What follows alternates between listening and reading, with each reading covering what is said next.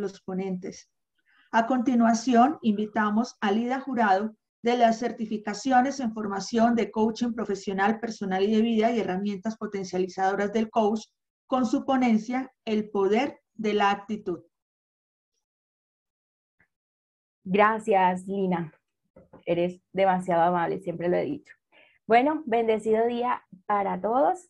Eh, como muchos de ustedes eh, les pudo pasar, las afectaciones de la pandemia también me tocaron a mí. En enero de 2021, hace un año específicamente, recibí la notificación de que la multinacional para la que estaba trabajando desde hacía aproximadamente siete años ya no requería de mis servicios y me invitaba a realizar una negociación económica para que me retirara voluntariamente. Por esta razón, el día 9 de enero de dicho año acepté el acuerdo, no tenía otra opción.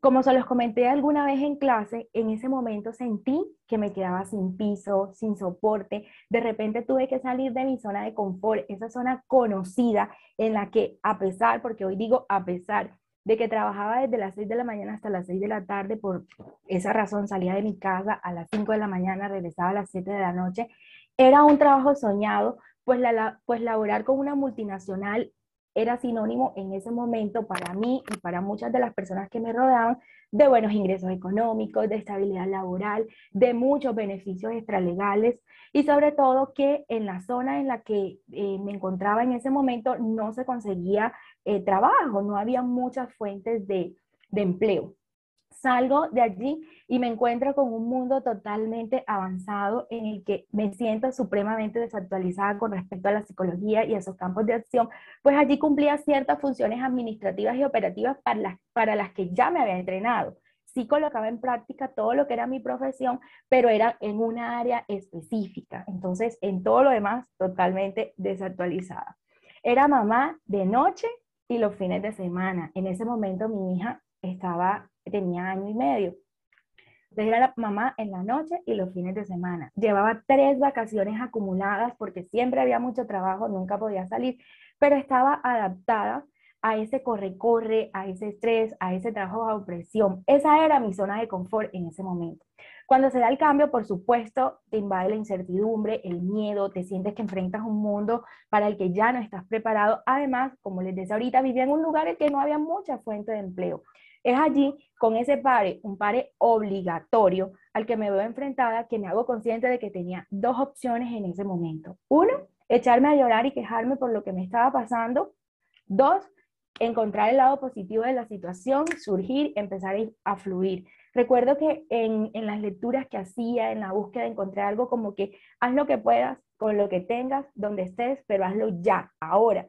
Sentí que eso era directo hacia mí, entonces por supuesto que me decido por la segunda opción. Empiezo a buscar el lado positivo de la situación, empiezo a aprovechar el momento disfrutando de mi familia, descansar un poco, aprender a ser madre, porque no es lo mismo ser madre en las noches y los fines de semana que ser madre de tiempo completo, ama de casa, esposa, hija, etc. Después de varias semanas de mucho pensar, de tratar de planear qué iba a hacer, empiezo como esa búsqueda de alternativas. Ah, tenía claro en ese momento que no quería emplearme, que no quería cumplir con un horario, ¿verdad? En el que tuviera que ir a un, lugar X hora, salir a X hora, que quería crecer como persona, que quería crecer profesionalmente, que quería servir, ¿cierto? Y Dios se encargó de empezar a mostrarme en muchos lados la palabra coaching, coaching, coaching, coaching, coaching. Entonces como que, wow, ese era un mensaje. Empiezo a indagar sobre el coaching, me encuentro eh, un evento en una, en una academia que duró una semana en el que recibí mucha información y me cautivó. Eso era lo que yo buscaba definitivamente, era lo que requería en ese momento. Por cualquier circunstancia, diosidencia y porque todo el tiempo de Dios es perfecto, esa escuela no llenó mis expectativas como escuela de formación. Me había servido mucho, pero como escuela de formación no. Sigo buscando Encuentros Human con el aval de Global Coaching Federation y hoy definitivamente digo, ha sido la bendición más grande del mundo, la decisión de entrar aquí, de formar parte de esta familia. Pero luego decía, bueno, ¿para qué o por qué me pasó todo esto? ¿Qué fue lo que realmente ocurrió? Y hoy soy consciente de que fue mi actitud la que me permitió actuar en ese momento, ¿verdad?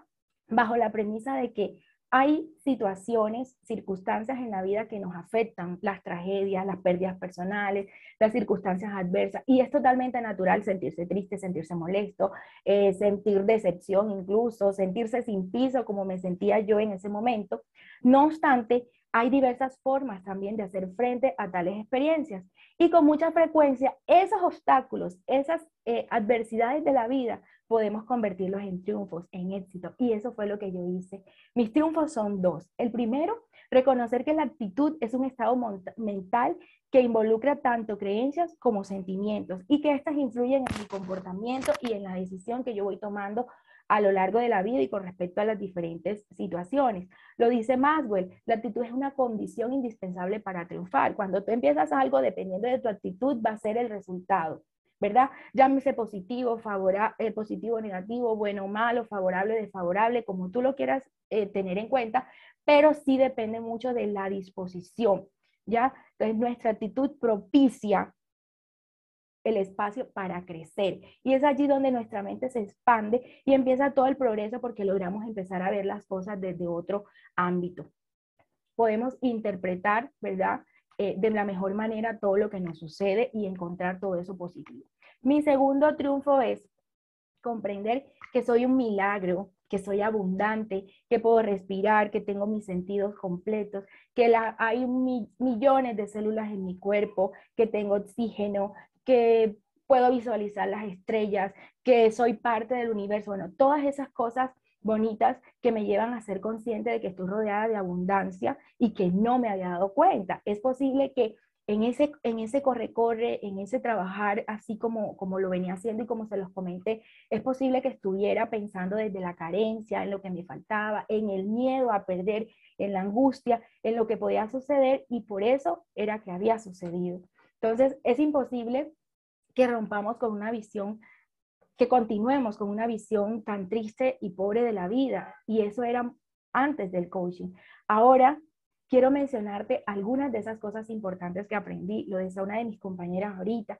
Pasé de pronto de que en media hora libre ver televisión a leer un libro, a leer un artículo que me sirva para mi crecimiento y por supuesto para el de los demás. De hacer cosas por supervivencia a realizarlas por propósito, por mi propósito de vida. De esperar a tomar acción, del deseo al compromiso, pero un compromiso conmigo mismo y por supuesto un compromiso con los demás. De jugar para no perder a jugar para ganar. De quedarme en la sombra como que no participo a exponerme. De ver obstáculos a ver oportunidades. Sobre todo de la queja al, al agradecimiento a experimentar bendiciones, a triunfar sobre mis crisis personales, porque claro que siempre tenemos crisis personales, todos los días seguramente, cada ocho días, bueno, en cualquier tiempo, en cualquier momento, pero tenemos crisis personales. Entonces, es superarlas, es encontrar lo positivo de cada una de las situaciones que se nos presentan. A utilizar esa adversidad de forma ventajosa, positiva. ¿Qué puedo aprender de esto? ¿Cómo puedo beneficiarme de esta experiencia y cómo puedo también beneficiar a los demás? Recordemos, eh, compañeros, colegas eh, presentes, que nuestra actitud hacia la vida es lo que determina nuestra felicidad, es lo que determina cómo nos sentimos. Entonces, la invitación que yo te hago hoy es enfocarte en lo positivo de lo que pasó, ¿verdad? Cada experiencia viene con un regalo, elige buscarlo, pero para buscarlo tienes que cuestionar, o sea, ¿para qué viene? ¿A qué llegó? Y tomarte el tiempo para encontrar eso positivo. Yo inicialmente pensé que nunca encontraría un trabajo como ese y mi regalo era la oportunidad de comenzar en una nueva profesión. Y no solo una nueva profesión, sino una profesión que complementa muy bien con la psicología. ¿Cierto? Y sobre todo una nueva profesión que ha traído crecimiento, que ha traído transformación a mi vida y por supuesto también a la vida de los demás. La pregunta que te hago hoy es, ¿son las circunstancias las que determinan tu camino y tu destino? ¿O eres tú la persona que en medio de esas circunstancias saca la mejor versión? Puede que las cosas no funcionen ahora o en un momento determinado, sin embargo, tú siempre las puedes cambiar. Hoy yo agradezco todo, absolutamente todo. ¿Por qué? Porque todo fue necesario para hacer estar aquí en este momento, aquí y ahora con cada uno de ustedes. Gracias, gracias, gracias infinitas. Adiós. a Human, a Global Coaching, a Heyman, a cada uno de ustedes, porque desde los espacios de eh, crecimiento, desde los espacios de enseñanza, aprendizaje, pudieron aportar a mi crecimiento. Un abrazo para todos y bendiciones.